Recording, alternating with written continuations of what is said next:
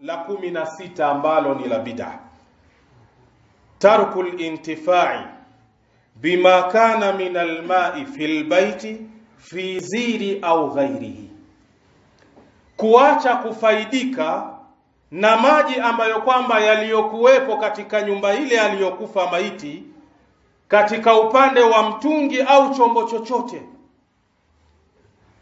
Si ni mtihani huu? Yaani mtu amekufa ndani ya nyumba, mumechota maji kama ni mitungi ishirini, thalathini, tuelewana vizuri eh? ya kwamba mitungi ile ambayo imechotwa maji, kumekufa mtu pale ndani, maji yale hayafai kutumika. Tutaona kwa sababu gani wanasema hivyo, kwamba yale maji hayafai kutumika maadamu kumekufa mtu mle ndani, yale maji hayafai kutumika. Wayarauna annahu najisu, wanayaona yale maji kwamba ni najisi. Subhanallah. Kwa hiyo ina maana maji yote yale ambayo yako kwenye mitungi yafanye nini? Yamwagwe. Yale maji ni najisi.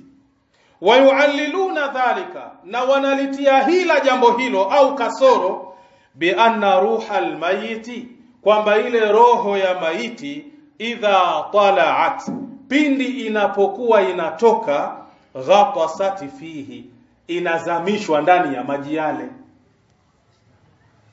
Haya si mtihani huu? wakati ile roho ya maiti wewe uliiona inatoka ikizamishwa pale ndani ya maji. Kwa hiyo sasa, ina maana maji yale hayatumiki, wanayaona ni najisi moja kwa moja, fikra zao na mawazo yao ya kwamba wakati roho ya maiti inatoka ilizamishwa na malakul mauti katika ile mitungi ya maji yote, wakati ile roho yatolewa. Sasa maji yale yamekwenda kugeuka najisi. Kwanza hapa, hebu amka shekh, amka shekh Hivi huyu ambaye kwamba ni maiti wa Kiislamu ni najisi kweli? Maiti ambaye ni wa Kiislamu amekufa anaweza kuwa najisi kweli? Kama ni najisi, tusingeingia nao msikitini tukawasalia.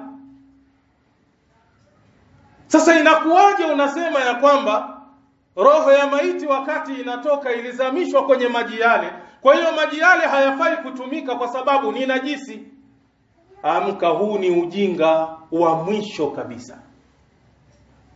Anasema Sheikh Albani, huwa madhhabu al-imamiyati, haya ni madhehebu ya dhehebu la alimamiya, kama fi miftahi lkarama, kama ilivyokuja katika kitabu chao kinaitwa Miftahu lkarama. Hichi ni kitabu cha Mashia.